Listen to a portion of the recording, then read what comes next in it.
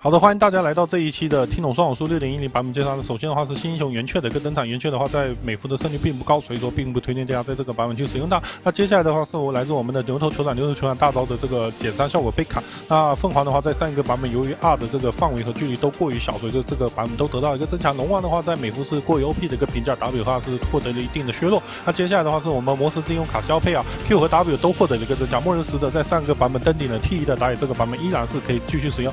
海灵潮汐海灵的飞。姿是获得了一个 B O G 的一个修复。那海兽技师在线上的话，由于它过于笨重体型，追击不到别人，所以说是把 W 技能降低到了一个四秒钟的一个时间。来自暴走罗利基克斯的一波抱怨，Q 技能终于是在这个版本获得加强，希望在接下来下路能够看到它的一个登场。那虚空先知马尔扎哈对于 B T 男人砍砍砍还不够，这个版本它是把被动的一个 C D 时间获得了一个增长。无极剑圣在上个版本由于版本的不适应性还有道具的一个改动，所以说这个版本是把 W E 获得一个增强。魔腾和龙女的话获得一定 A P 的加成。测试同女斯维因的话，这个英雄我就不多说，他是个中路爸爸。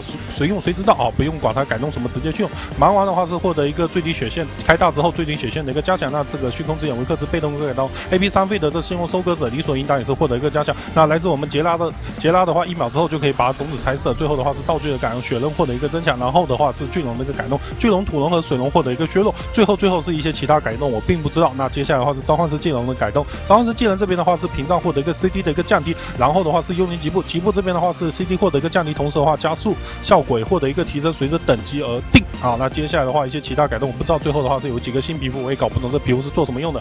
哇，终于是说完了，我的天老爷，太辛苦太辛苦了。那最后的话，请点击一波订阅，谢谢大家，拜拜。